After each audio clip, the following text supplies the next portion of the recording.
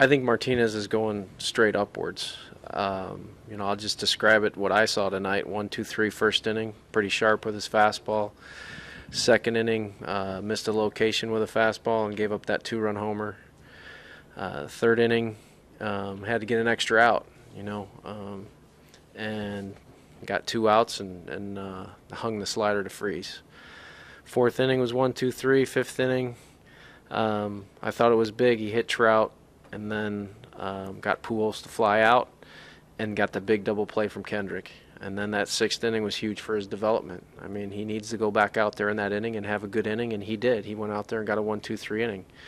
I saw nothing but positive tonight. He made a couple bad pitches in some big situations, uh, but for the most part, pretty strong.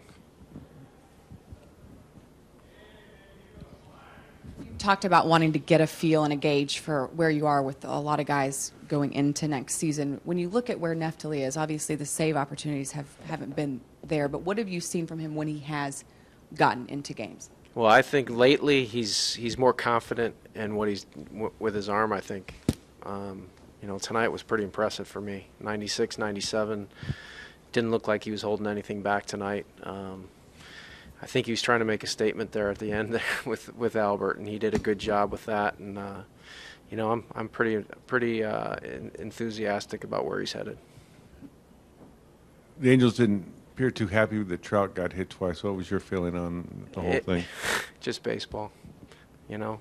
Um, just trying to pitch him in because that's what we have to do, and you know, we just played baseball after that, and that's the way it goes.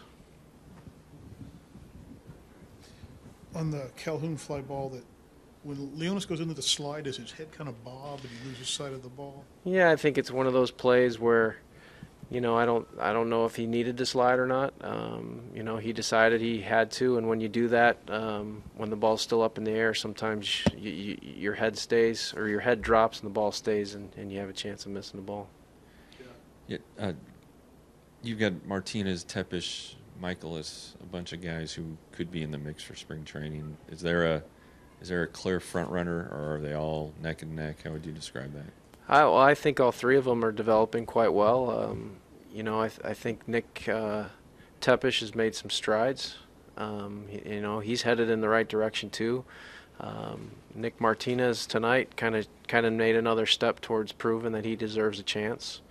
Um, you know, uh, Michael Miles is the wild card for me, just because this is the most innings he's ever thrown.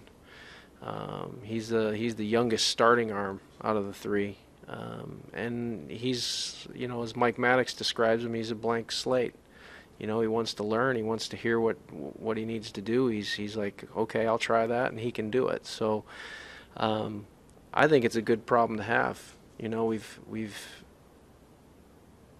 had a tough season, but it's given us an opportunity to see some guys and build some uh, build some guys, you know, arm strength and, and durability, and, and now we're going to know if we have some guys that can back up some of the other starters.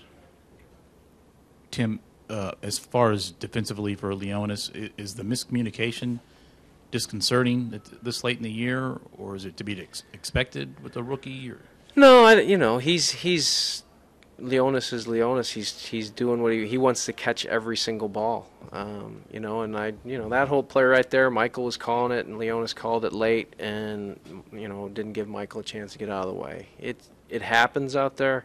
Um, you know, the first thing Leonys said when he came in the dugout, I screwed it up, and for me that that's a big step. He coming in the dugout and t- taking you know the blame for what happened. So you know, it worked out. Michael caught the ball, so um, an out's an out for me. Anything else? Bob? Can you talk about the maturation of Leonys as a leadoff hitter? I mean, he's in a, in a pretty good uh, groove right now, and uh, looks like he's uh, making some strides in that leadoff spot.